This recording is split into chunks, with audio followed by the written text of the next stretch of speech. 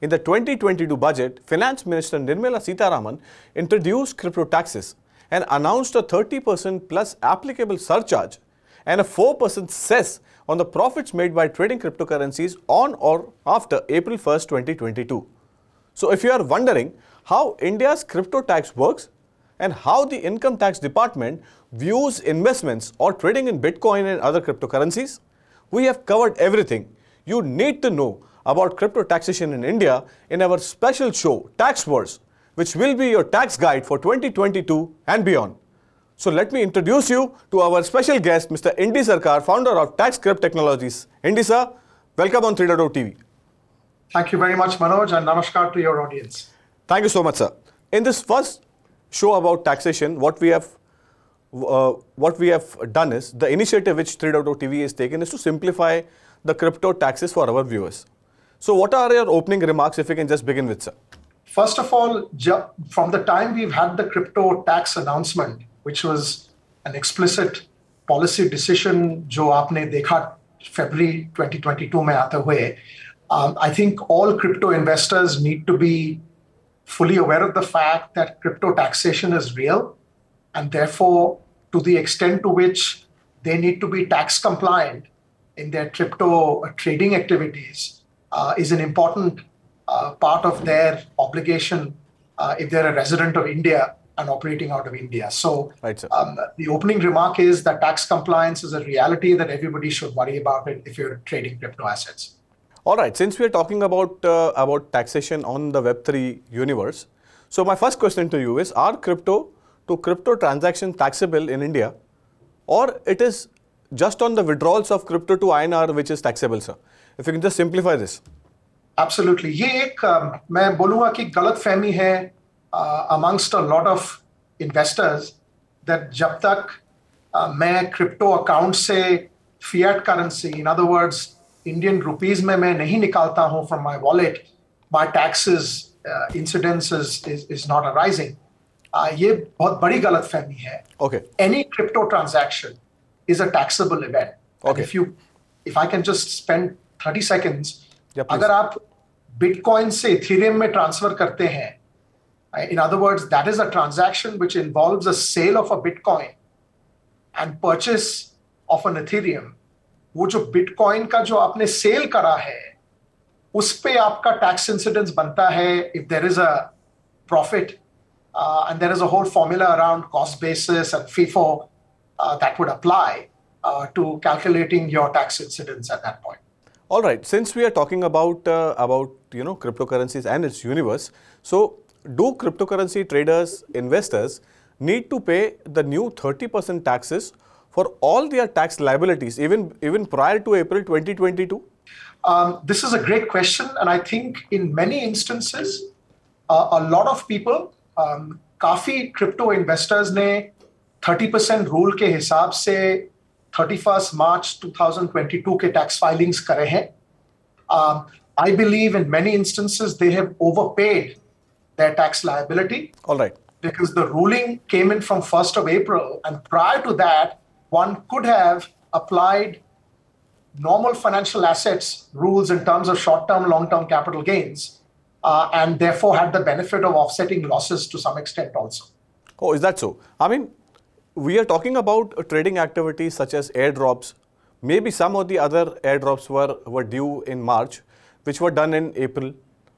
So how does this thing, you know, can be managed? Airdrops ka, airdrops ka jo taxation scenario hai, that has pretty much not changed from pre 1st April 2022 and post 1st April. All right, okay. Uh, airdrop, if I have to put it in very simple terms, uh, आपके दर्शकों के लिए airdrop is um, दर्शकों को यह देखना चाहिए कि एयरड्रॉप एक गिफ्ट के बराबर है ओके सो so, जैसे आपको गिफ्ट टैक्स लगती है and there is a certain tax rule where you are exempt I believe it's up to fifty thousand rupees and if you have any gifting that is beyond 50,000, the entire amount okay. that you've captured as gift is taxed at your marginal tax rate. So उसमें pre and post 1st April 22 में कोई फ़र्क नहीं है. All right. So, since we are trying to understand how this tax structure works for our viewers, so my next question to you is, sir, if a person converts one crypto to another without moving them into their account, so are they liable to pay taxes? पहली बात तो when you are converting, it is always happening wallet to wallet. Exactly. Uh, so there is action or rather activity that is taking place within your crop- crypto wallet domain.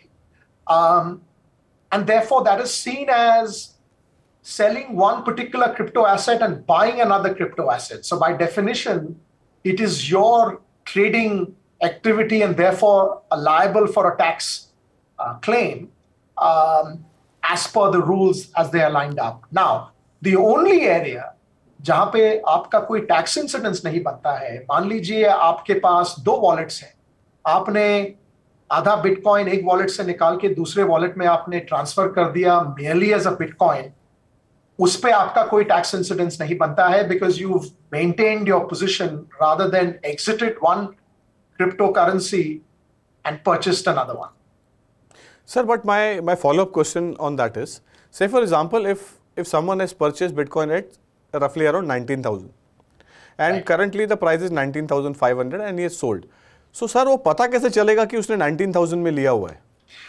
वो that's a great question क्योंकि जहाँ से भी आपने लिया होगा आपका एक cost incidence cost basis calculation होता है as part of your wallet right so all your wallet has that because at the end of the day this is all on a blockchain and therefore anything that's going in and out of the wallet whether conversion from fiat to a crypto currency which is your purchase in उसका एक cost basis establish हो जाता है. तो sir ये जो आपने बताया कि कॉस्ट बेस्ड इस्टेब्लिश हो जाते हैं we just trying to understand you know how this thing works so while filing tax returns so are you going to give the entire blockchain series to the tax guys और how does this thing work sir So actually, what you have to do is, at the end of the day, the complication कहाँ पे आ रही है for crypto investors? ये समझना बहुत ज़रूरी है. Um, the the complication is that when you are purchasing, or rather when you are booking a trade, it's a transaction, and therefore there is a cost basis of acquisition. Perfect fantastic दूसरा चीज जब आप बेच रहे हैं FIFO rules will apply. That is what calculates the weighted average cost of what you're selling all right sir in order to calculate your gains. Perfect. Perfect. So moving on, if a person has multiple wallets, say for example he is having two uh, or maybe more than that, and a lot of transactions within them, how will these transactions will be calculated? It's my next question to you, sir. Uh, this is also really important to know that under India tax regulation, FIFO rule applies on a wallet basis. US may and some of these international tax platforms they apply FIFO rule on an aggregated basis. In other words, अगर मान लीजिए आपके पास तीन wallets है and there is transactions happening across these three wallets, FIFO cost basis estimate or computation they would do on an aggregate basis. India does not allow that, so therefore be very careful. आपको wallet basis FIFO calculate करके उस पे tax incidence calculate करना पड़ेगा all right ये तो बहुत ही अच्छी इन्फॉर्मेशन सर आपने दी है बट बट uh, अगर इससे अगर हटके अगर हम कुछ देखें तो if a person has an asset stored outside the regulated exchanges and through DeFi wallets so would they be would they be taxable at the end of the day the tax obligation is on the individual who is an Indian resident so हालाँकि आप जो कह रहे हैं DeFi tracking is a problem currently और अगर DeFi to CeFi अगर कोई मूवमेंट हो रहा है तो you leave a paper trail उसमें you can be subject to scrutiny any sensible crypto investor जो कि टैक्स कंप्लायंट रहना चाहता है जिसको हेरासमेंट की wants to avoid any kind of tax scrutiny or harassment, they should self regulate and disclose by linking their DeFi wallets. Uh, certainly, on our platform like ours, which is TaxCrypt, you can link all your transactions. Uh, and you know be an honest crypto investor and be compliant of the rules. That that compliance obligation falls on the crypto investor. So honest crypto investor is in need of an hour. That's what Indy sir is saying. Uh, so are transfers made between an individual's own wallets taxable? So say for example, if uh, if I've made a transfer to to some or the other uh, family member of mine, so are these uh, transfers or wallet trans- uh, taxable?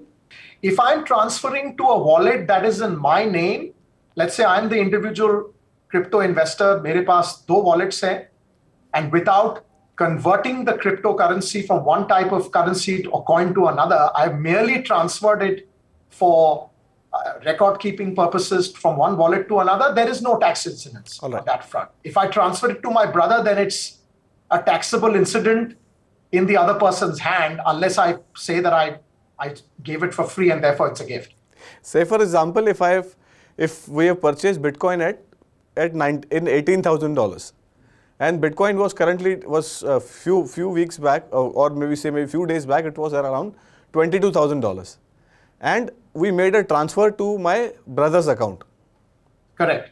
So he will be he will be liable to pay that tax, or In fact, the obligation is on you All right. because you have transferred value worth 22,000 on a purchase of 18,000. Because it has left your wallet. Uh, these are all these little nuances where jahan pe abhi bhi taxman is yet to provide full Exactly. clarity. the prudency is whoever's booking that transaction needs to make sure that unke books are clean uh, and therefore apply the, the laws of prudence First of all, he will be surprised that the, he is receiving a gift from someone. And the second surprise will be he has to pay 30% taxes on that. Moving on. And my my point is इसमें कोई tax बचता नहीं है Exactly. because वो आपके brother के हाथ में और रिलेटिव के हाथ में would be taxed as a gift and you're now liable for a, a higher price point because then the cost basis is zero if they haven't actually uh, you know monetarily or any other way paid for it So th- this is this is actually a question uh, which is which is uh, very important. So do miners need to pay taxes on gains they have made on trading of digital assets?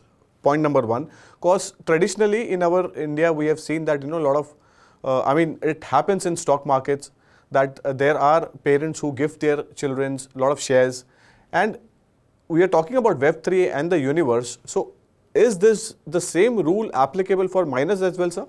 the the tax rules that applies to any kind of income generated at a minor level is no different from mainstream taxation and crypto taxation. Fantastic. Um, जो rules वहाँ पे है, which is up to 1500 rupees a miner can generate income in the strictest sense of the word. Anything more than that gets attached to the parent with the higher income. Okay. And under their PAN, it's accounted for, and therefore marginal tax rates apply uh, on, on, on those. All right. Since we are talking about taxations and the way forward for our Indian viewers, so are crypto traders, investors liable to pay for advanced taxes also, sir? Absolutely. ये आपने बहुत important point raise करा है. Um, 1st of September, by the 15th of September, uh, crypto investors should have paid their advance taxes. Uh, I'm not sure what the compliance level has been. Uh, we believe there's about 25 million crypto investors in this country. Um, and because it's income outside of a normal, uh, what I call salaried process, जहाँ पे there's a predictability and there's TDS largely at the marginal tax rate, um, इसमें advanced tax rulings do apply. I'm not comfortable to answer the question as to what is the compliance uh, coverage on this. How many people have complied with advanced taxes? All right, your last closing comments on this, sir. Since uh, it's our first show, and uh, and there is there are a lot of lot of other shows which we are going to bring for our viewers to understand this tax and the taxation in the in the in the Web three universe. So, what is your closing remarks on this, sir? Closing remark uh, is to say that um, to your audience is that देखिए taxes are here to stay. Uh, do manage your tax planning. Do remember the fact that ये 30% tax on gains आपको देने पड़ रहे हैं. If you're booking losses, you know, second half of the year, but you've got a lot of gains in the first half, your obligations to pay your taxes remain intact. so there are no offset of losses. So do rely on tax planning. Otherwise, tax when you have to pay your taxes, there's pressure on you to generate liquidity. Uh, platforms such as us uh, not only allow for tax compliance and give you a proper computation, we're also helping you with your tax planning exercise to make sure you're able to meet your tax obligations. So again, rely on specialists. Um, I believe technology plays a huge role on that front, and uh, you know, focus on, I tell investors that focus on what you do well, which is investing. Leave your tax compliance to other specialists who can take away that headache.